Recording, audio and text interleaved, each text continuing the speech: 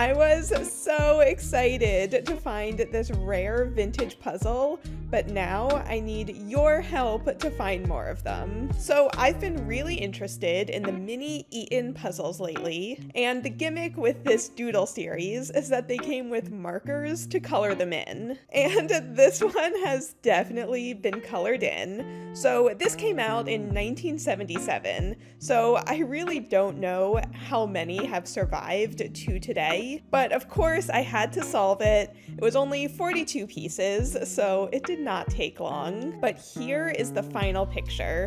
And again, the puzzle itself has also been colored in. I would love to find a clean one someday. So the piece cut is different from the tea puzzle, but I would love to keep collecting these. So if you have a mini Eaton puzzle, please get in touch.